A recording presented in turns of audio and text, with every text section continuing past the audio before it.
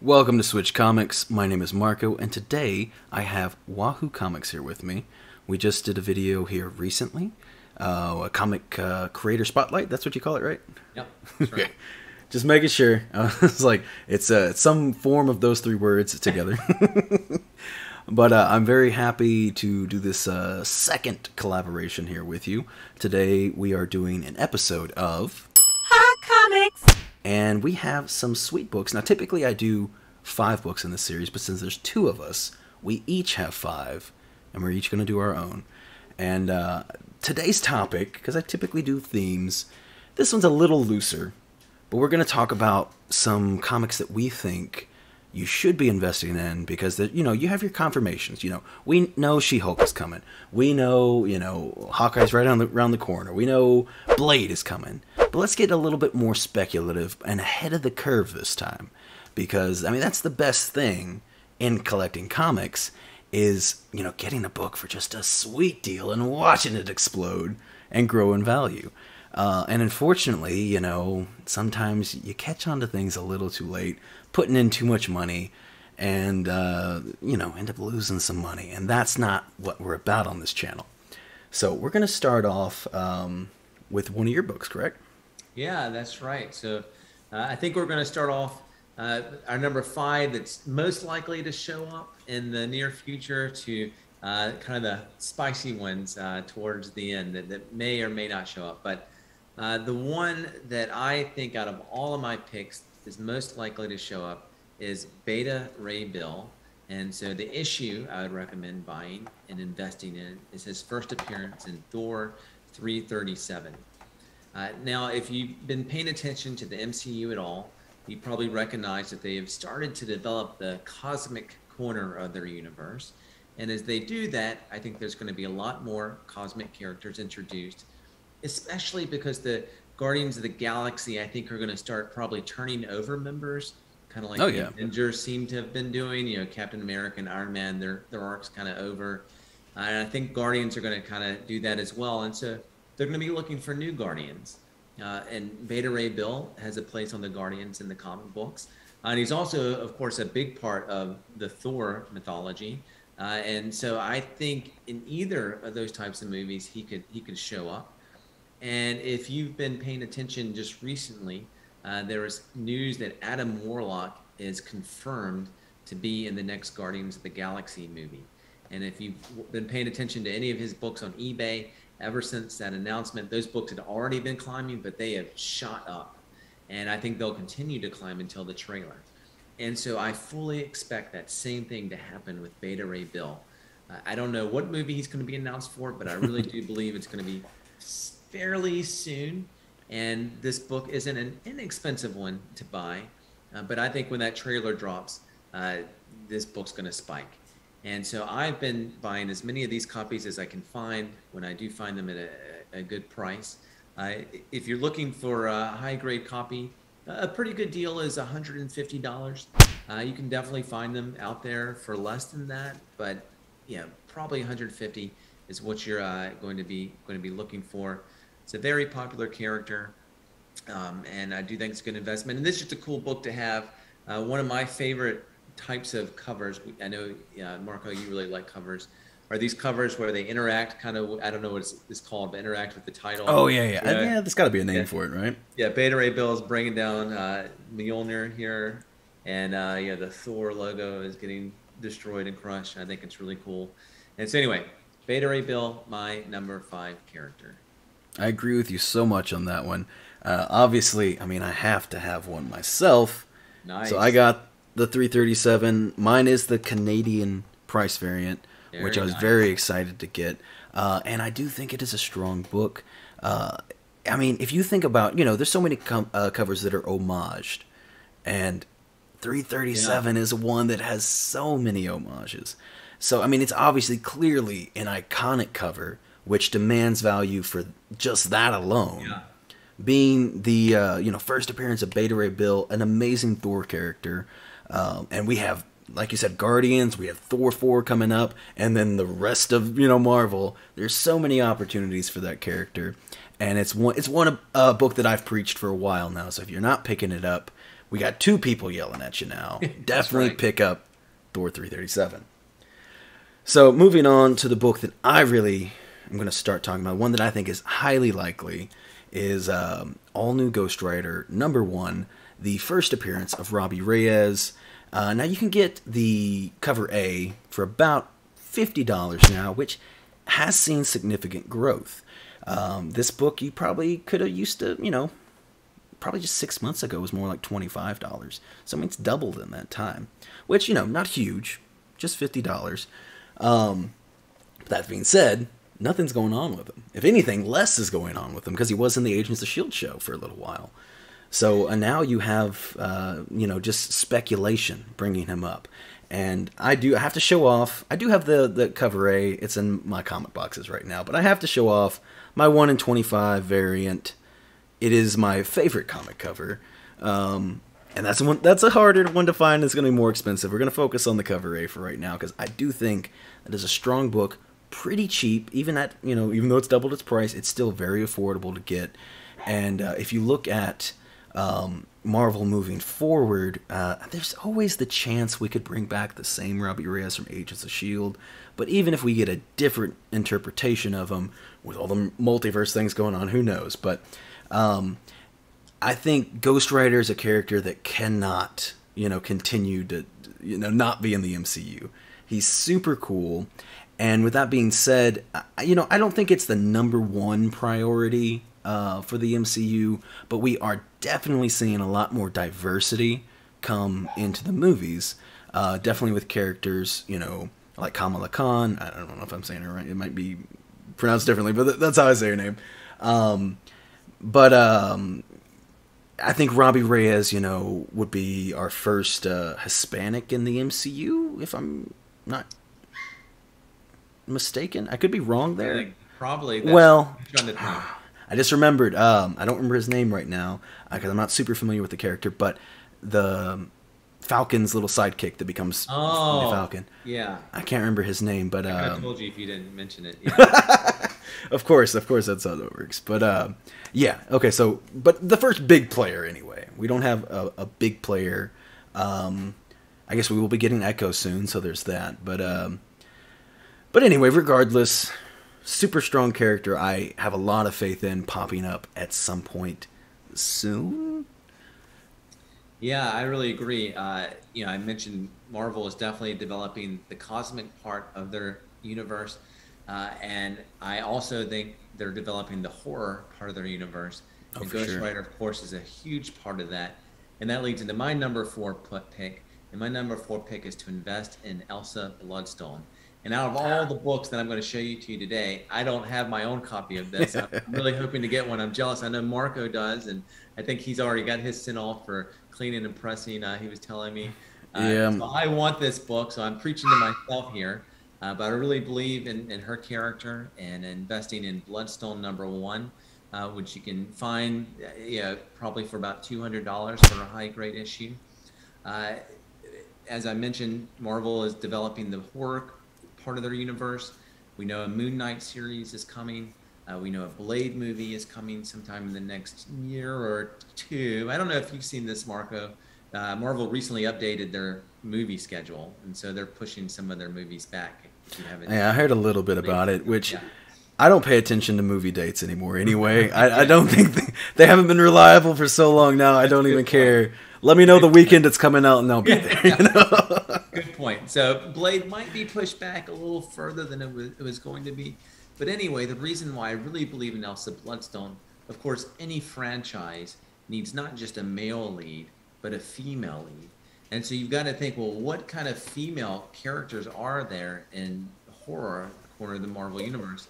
And Elsa Bloodstone is right up there near the top. And that's why I believe in her character. Uh, and and as well as that issue is also there's it's a pretty low print run from what I understand, and so it, it it's collectible for that reason as well.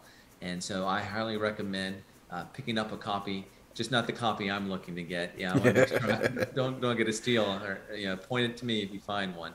Uh, but Elsa Bloodstone number four. Yeah, that's a that's a book I definitely strongly agree with. Yet again, a book I recently picked up, And have you been actively like searching, you know, trying to buy a copy of that book? Not actively, actively, but just kind of keeping my eye out. But I am starting to think I need to actively, actively. I don't know if you if you've noticed if you haven't you know been actively like looking for it too much and looking at a lot of copies of it, those books are beat. They mm-hmm. are very hard to find in good condition. And again, a low print run of a book that at the time nobody you know thought was going to be anything. Um, and it, it's funny you know to think when you think of had that mindset because you have your you know you know your amazing spider-mans and or af-15s and stuff you know at that time obviously nobody thought it was going to be anything and then you kind of think once like the star wars prequels it's like oh, okay now we're making sure we're collecting everything but you still have these gaps Yeah. where things like bloodstone 1 uh, we were beaten again you know we're not taken care of and, and uh, just destroying. And that is a hard book to find even uh, the copy i have.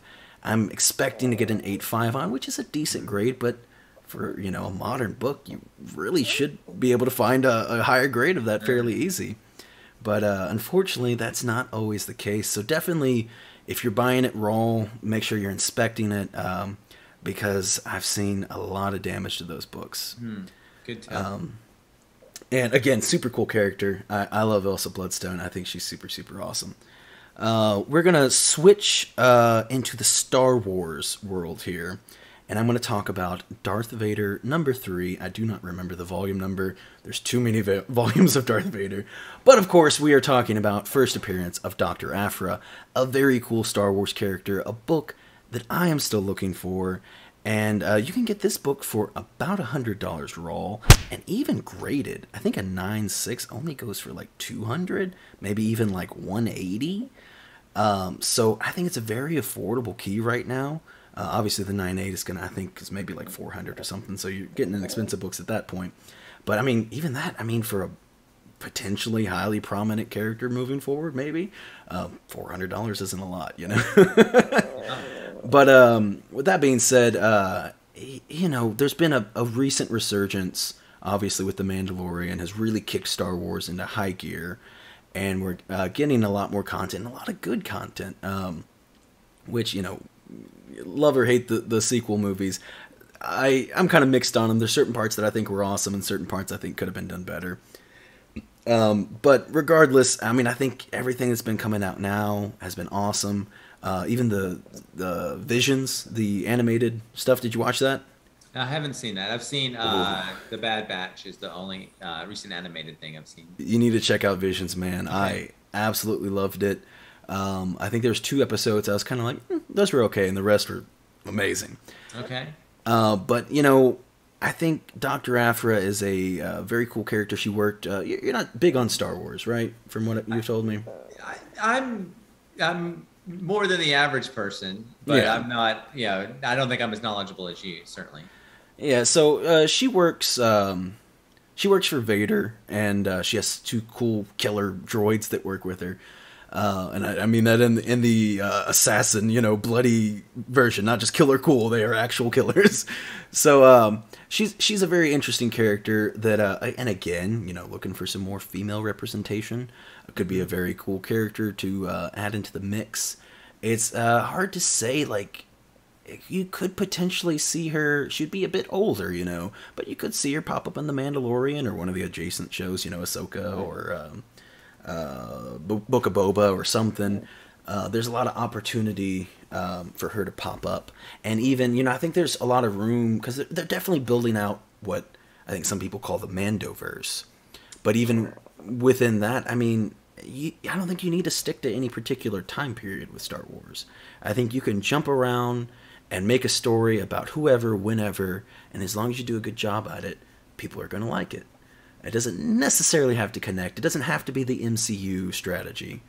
Um, but um, I, it's just a, a cheap book, relatively speaking, that I think um, is such a popular comic character that I don't see them, you know, leaving her out of live action for forever.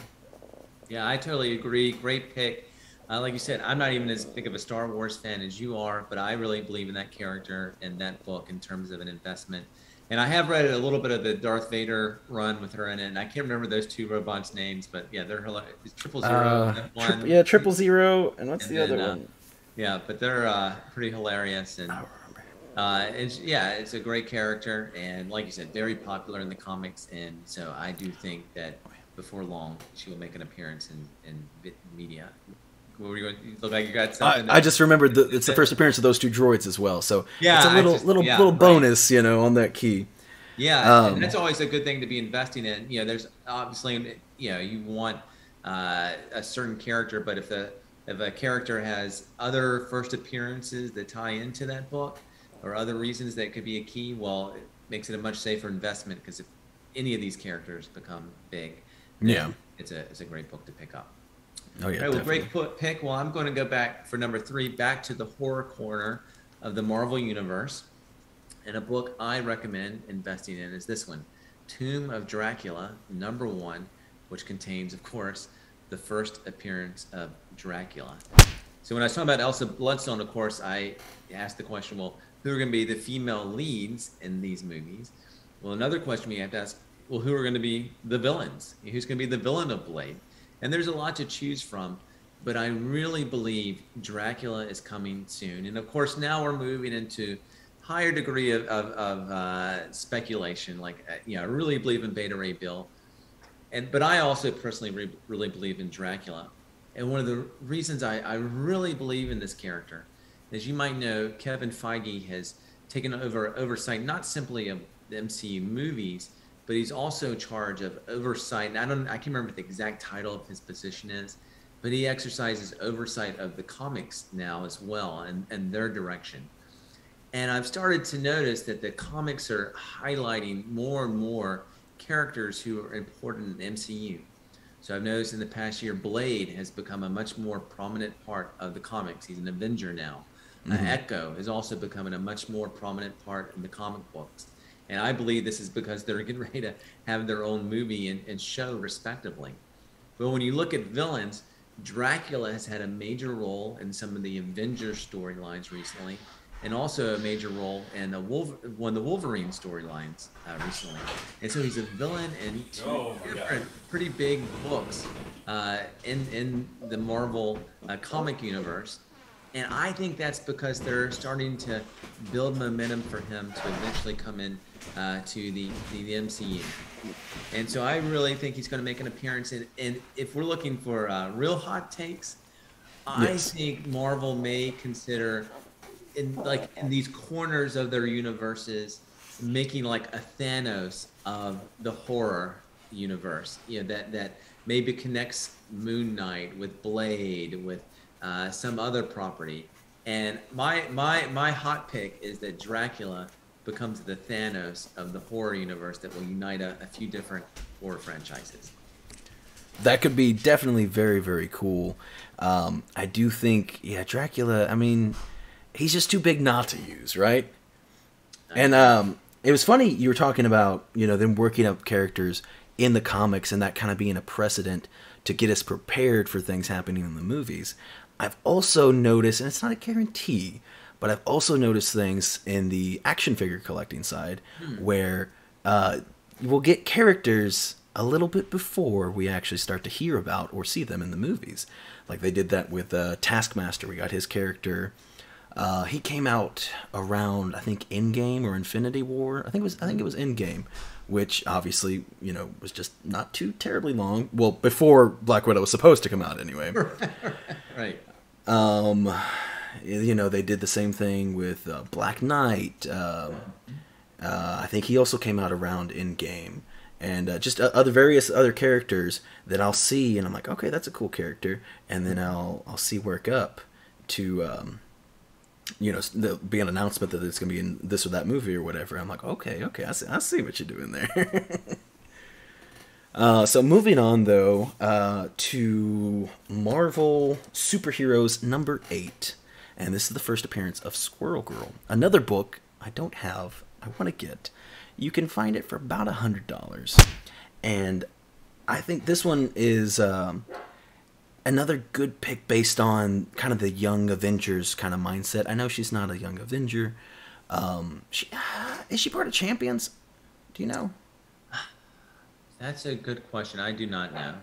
Yeah, see, because I'm, I, uh, you know, I'll, fully admit I haven't read any Champions book at all, but I know it, it does deal with those young heroes, and Right. regardless, even if she's not a part of it, she, I, she, I feel like she's still part of that world, and, um, and I don't know what's wrong with my dog right now, but, um, I, I think, you know, she's a fun, goofy character, um, that would fit so well in the movies and the you know marvel loves to have a good time do a lot of jokes be a little out there uh, i feel you know in some regards obviously not in the uh, vulgarity but still have kind of the crazy um, just out of this world factor that like deadpool has for example Sure. um, and obviously that worked very well. And I think um, I think Squirrel Girl is another character, again a newer character that uh, that people would really like to to see on the big screen and have some fun with. Yeah, great pick again. Uh, yeah, I haven't read a lot of Squirrel Girl. I just remember she was uh, the nanny to Jessica Jones and Cage's baby uh, in some of the new Avengers run. And so I, I think those characters are coming back. Who knows if, yeah, there's lots of places that she could tie into. Um, all right, well, my next pick is not a, a, a single character, but actually a team, and that's Alpha Flight and their first appearance is in this one, Uncanny X-Men 120. Uh, and this is one of those books, uh, kind of like Wolverine or Incredible Hulk 180 and 181, where there's a cameo appearance and then a first full appearance, and collectors are kind of divided on which is the book to get. So really, if you can uh, if you can get 120 and 121, they're both great uh, books to pick up, I think. But the one that I own is this one, uh, 120, which is considered their first cameo appearance, uh, but a lot of people see it as their their main first appearance. Uh, and uh, I think this is a great book to speculate on uh, because something that we do know is coming, even though it hasn't been confirmed, are the X Men. Uh, Marco Oh, and. I, when we were talking about this, we were like, well, I said, well, the X Men haven't been confirmed, confirmed, but uh, uh, you know, it feels like cheating to pick them. Uh, but of course, uh, as the X Men are, are introduced, and and I think my I think they're going to have lots of series with X Men characters eventually, and of course, all these series are going to need antagonists. And I don't think Alpha Flight is big enough to carry to be the main antagonist in like a main X Men movie. I think there's lots of other characters they could get to. I think they could have a big part in a series or, or something like that. And if you know their history, they tie in a lot to the Wolverine uh, lore. Mhm. And that's how their connection with X Men come. And of course, Wolverine is probably the most popular X Men. Uh, and uh, so I and, and and so they start off as antagonists, and then later on, you know, they become protagonists in their own book. And so I think uh, that is something Marvel might look to do with some of their villains. You know, to introduce them as antagonists in a property, but then if they seem to take off, they could give them their own show, uh, like the Winter Soldier, of course. He has his kind of his own show with Falcon, but he started off as antagonist. True. And so Alpha Flight could fit in that category. They could test them out as a potential protagonist by making them an antagonist. And another reason I think they're a good investment is like we talked about earlier. You can find books that have multiple first appearances, then really only one of those characters have to show up, uh, and and it, and it means something uh, for the value of the book. And so, of course, whenever you're looking at a teen book, there's multiple first appearances. And so this, I can't remember which Alpha Flight members are introduced here uh, fully, and think Sasquatch and Guardian and maybe seems like maybe one other. Uh, but uh, for for those reasons, this is my uh, number two book. And if I didn't mention it, I know I, I forgot to mention the the Tomb of Dracula price. Uh, the Tomb of Dracula is is the most expensive book on on my list. Uh, you can probably find a decent copy for about 300. Now this one you can find a high grade copy for about 200. Yeah, definitely. Uh, I mean, I've been preaching X Men for so long now. I mean, you know, obviously ever since uh, they bought out Fox. I mean, it's a it's a no brainer. Um, and I, you know, I'm getting my hands on any X Men key I can get. That's one I don't have yet. Um, and especially with X Men, I mean, anything within the first like, you know, there's exceptions, but like first 150 kind of general you're looking at some good stuff, you know. um, and uh, yeah, I think you know Alpha Flight, especially with their ties to Wolverine, it could you know maybe that's how they decide because we're definitely getting Wolverine. Like I feel like it's, that's a no brainer, but maybe they decide it's like this time we're gonna introduce him with Alpha Flight. Maybe always a possibility. Mm-hmm. Um, it's hard to say. Uh, definitely, a, a, you know, I feel like a very very solid pick. And then uh, moving on to my second to last book here, we're going to talk about Venom 3, which the only copy I have is the foil version of uh, this is what's the third print cover looks like. if I can not have it glare, but um, it's one that I, I, I, want the first print. Um, I haven't been able to find it. Um, I also, you know, haven't really been looking that hard for it. Um, and the first print, I had a bit of difficulty getting a good value on it. Um, because this book has definitely calmed down after the King in Black event. Mm-hmm. Uh, it's still still up there, but it also seems like, for at least in my uh, my research, that uh, pretty much every copy of this thing has been graded. I couldn't find a, a, raw one to save my life. It felt like. Uh, so I'm gonna roughly say a raw copy might run you about $150. But again, nine sixes aren't that far off. Um, I saw I saw an auction just in the other day for a nine six. I think it was like hundred and sixty dollars. Wow. Uh, no, that was a lot lower than a lot of the other ones I've seen, but it still sure. feels like but two. Yeah, it did happen. It did happen. So could again, you know. But I feel like two two fifty. Um, you can get you a nine six, which is a you know a solid grade and um, a very reasonable price for it. And again, talking about you know just little hints through other things like action figures. They just revealed um, during the Hasbro PulseCon um, they're going to be making a Knull figure. Oh um, wow! And it looks it looks so good. I'm very excited for it. Um, and I don't know, is that a hint? Um, also, I don't want to get into too many spoilers. Did you watch the second Venom movie? Uh, I have not yet. Okay, but do you know about the end credit scene? I know one. Uh, is there just one? I think. Yeah, at least I there's know, only one people are talking had, about. As a comic investor, I had to. Had to yeah, we, we got to know these things. Yeah. Um, so all, all I'm going to say is there is mention of a hive mind. Which have you? Did you read any of uh, the Venom run or yeah, King yeah, I've read all, all, the Donny Cates okay. and I've read King in Black. Yeah. Okay, so I mean, you know that the hive mind is all connected to Knull. He is the symbiote god and um, you know they might just do like a generic hive mind um, where they don't introduce Knull. It's always possible, but man, would it be cool to get Knull as this yeah. big bad new.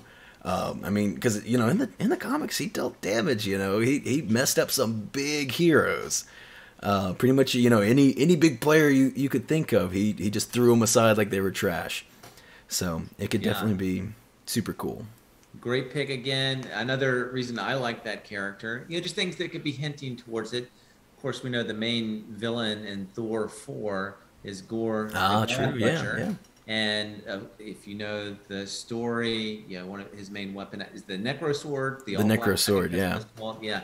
And we later learn, years later, that that sword was forged by Knull. And so, yeah, who knows? Those are planting seeds and, at things that could eventually end up in Knull. So Another good pick, Marco. Well, for my number one, uh, this is a book uh, that I don't expect this character to be in the near future, uh, but I think this book is worth investing in anyway. Um, it's this one, um, Strange Tales 178, which is the first appearance of the Magus. And I think that's how you say it. I don't. It could be. That's Magus, how I say it. Yeah. I always, I always say Magus.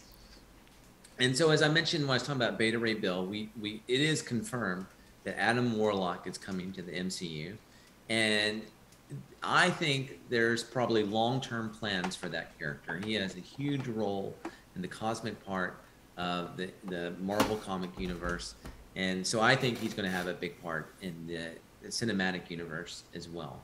And if you know anything about his lore, one of his main villains is the Magus, which there's been some retcons and different versions of the Magus, but it's always ultimately some kind of evil version of, of Adam Warlock. And so I, I, think that they continue to develop the Adam Warlock saga uh, in the MCU, uh, that the Magus could play a role in that.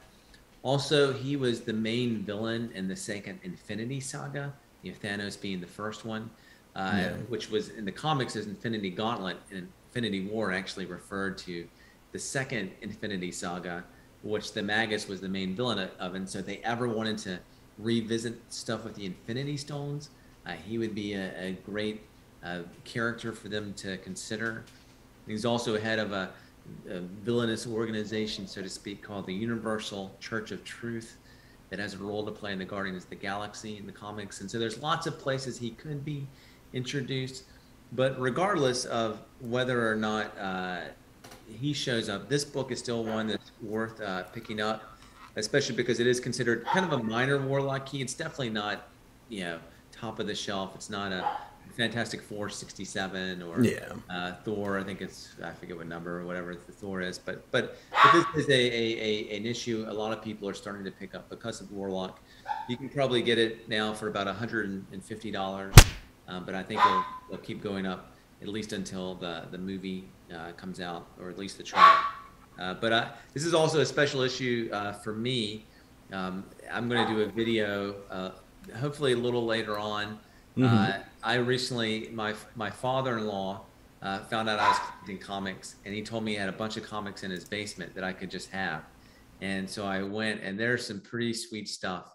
And uh, so this was one of them that I was able to to get from uh, my father-in-law uh, for free. And so I'm pretty excited about owning it.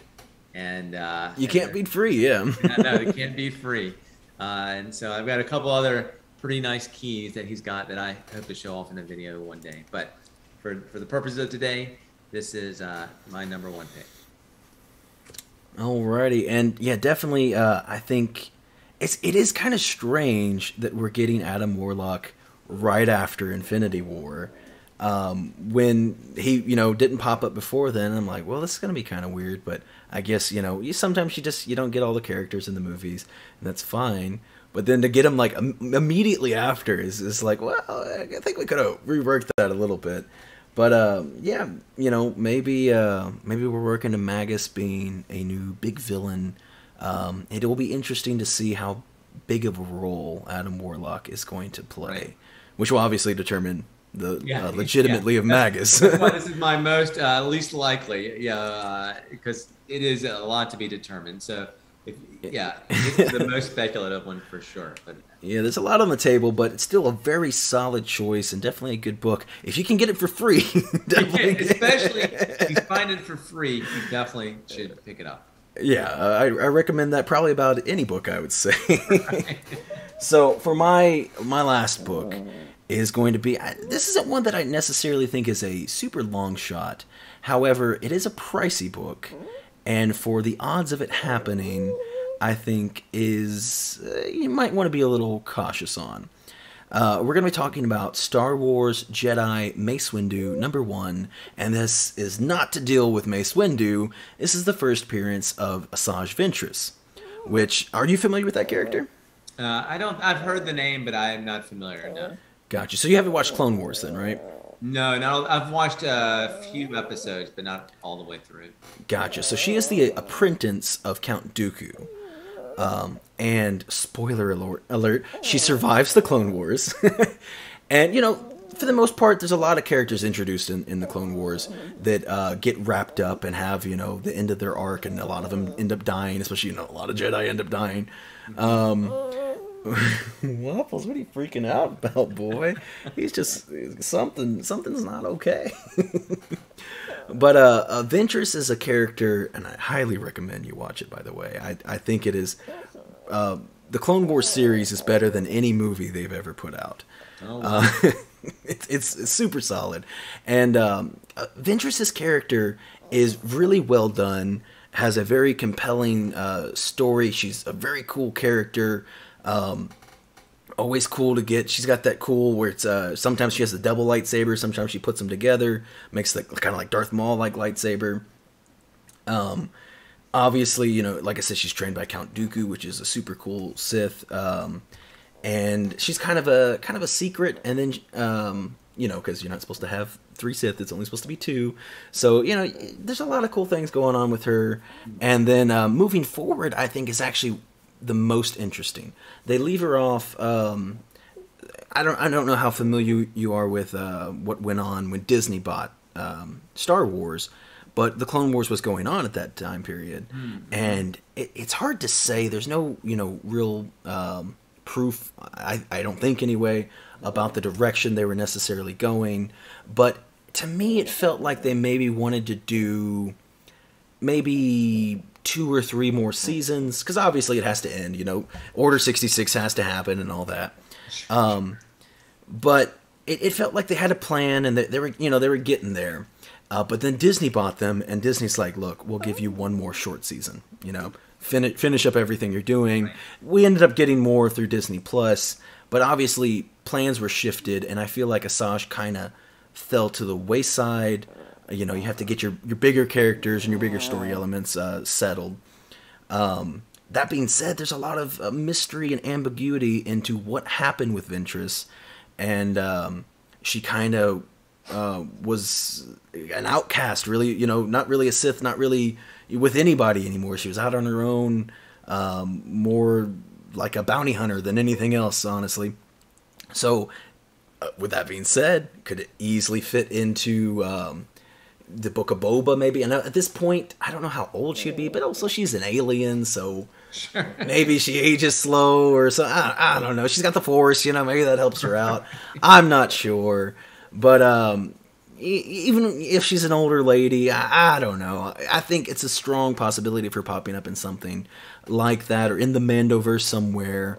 Um, or again, I think Star Wars is very underutilizing their ability to hop around to any time period sure. and just say, "Here's yeah. some more stories." Great so. Point I don't know if that's at any point something that they would want to do. I forgot to mention the price of this book.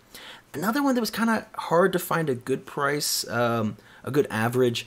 I would say you might be able to find a raw copy for about 150, but graded copy of these things are pricey. Again, I do feel like it's another book that people were like, whatever, it's just a Star Wars com. And again, prequel stuff. So like, oh my god, none of these action figures are worth any money. What have we done? Don't collect anything ever again and uh, you know, little be known that these books are are worth something, and because like I think nine eights are going for, I think it was like eight hundred dollars or something like that. So and nine sixes, you know, were under that. Obviously, I don't remember the exact price, but high grades of this book is are very expensive. Um, so definitely keep that in mind. Uh, I haven't been actively shopping for this one. It's one that I've recently. I was talking to the shop with my boss about, and uh, he mentioned it to me. So I mean, full props to Shay. He was like, you know, just looking forward to the future. Um, you know, try to pick up the keys ahead of time, like we're always talking about. Yep. And he's like, Ventress. He was talking about picking it up for himself. He's like, this is one I, you know, I definitely should probably try to get. And uh, you know, listen to the people that have uh, more and better stuff than you because they they I think they have a, a, hint of an idea of what they're doing you know, he's been in the game for so long. I definitely take a lot of tips and advice from him. So um, yeah, that's my my last book of the day. Great pick, and I fully agree. Like you said, you know, try to get on these books early. Characters that are very likely to show up at, at some point, even if it's a little bit down the road. You know, you, you make most of your money, in my opinion, and other people have thought this as well. When you buy the book, yeah, when you buy the book, much less than you sell it for, that's where the money is made. And so always be looking for when you can buy this at, a, yeah, obviously at the lowest you can find it, which is always going to be before there's announcements, before oh, there's oh, yeah. a trailer. Uh, so these are the characters you're really to be looking at. So great, great picks, all, all of yours, Marco. Yeah, and I, I do want to mention, uh, which I've talked a little bit about on the channel before. I used to do these, um, you know, these hot comics every week, uh, but I do feel like it's just been getting harder and harder to get yourself ahead of the curve. I feel like yeah. everybody's specking on any big character, anything that's his first appearance, people are buying. And it's it's getting really hard for me to find books to, to tell people because uh, you know I want to make sure my advice is uh, something, you know, and I can't guarantee it, obviously, but I, I want to, you know, try to get people a little inside knowledge into my brain, at least, as I, all I can offer, I guess. But you know, I've I've been right on some things. Is all I'm gonna say. And some books that I've picked up have gone up in value. For the most part, I'm pretty on it. I feel pretty pretty good about what I gotta say. Yeah, But uh, I, it's getting harder, man. It's getting harder for it us. certainly is. I, I agree. When we talked about who are some people that we could pick to speculate on, and at first I think we were talking about not until people who couldn't show up till phase five. I was like, man, well, I think anybody could show up in phase four. Everybody's getting speculated on. Oh yeah, oh yeah. So it's certainly yeah, yeah. It is it is harder and harder uh, to stay ahead of that game, and so you do have to also be careful. You can get wrapped up into uh, specking on you know really obscure characters that Yeah. jumps on, and then the book goes nowhere. Um, so yeah, there's a, two-edged sword a little bit. Definitely, definitely. So, um, if you all haven't checked it out already, we did a video over on um, on Michael's channel, um, and uh, if, yeah, if you haven't checked that out, it's kind of like a interview, basically talking about some stories and some things going on, um, and how I got into collecting and all that. So uh, definitely watch that if you haven't. Um, make sure to you know check out his channel. He's got a, gr- a lot of great speculation and ideas too. He's always picking up great books, and uh, you even inspired one of my um, uh, hot comics videos once time because I was I was looking at um, what book was it? You were it was one of the pets. Yeah, it was it was the pizza dog, Lucky the Lucky, yeah, dog. Lucky the Yeah, pizza yeah. dog. And then I, I made that video and talked about some pets, and since then, that uh, Jeff the Land Shark has gone from a you know two or you know at most five dollar book to like a 30 40 dollar book now. So, you know, thank you for that. Which it's a book that I love. I love Jeff the Land Shark.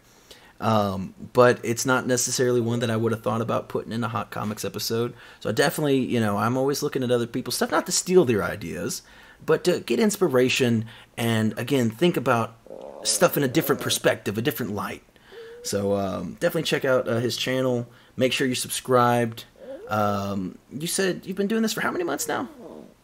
Uh, I started putting out. I think I put out my first video about a half a year ago, and then Okay. over the summer I've started to put out weekly videos. So yeah, you're you're pretty fresh, even even fresher than I am, and I feel like I just started yesterday. I hear that. But uh, thank you so much for popping on my channel. Thank you so much for letting me pop onto your channel. And uh, yeah, any you know, you talk about yourself or anything you you have to say. Talk about the weather if you want to. yeah. Uh, so yeah, obviously, like Marco said, we have a lot of things in common uh, with the information we share. Uh, usually, my weekly videos, I'm sharing books that I've picked up that week and why I think they're good investments.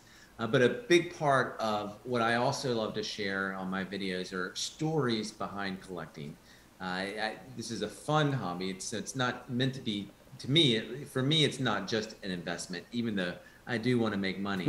But I also want to have fun and, and, and, and talk about the stories of finding a, a, a book that you never thought you'd find or uh, or you know the heartbreak of a book you thought you were going to get that you know you, you missed out on.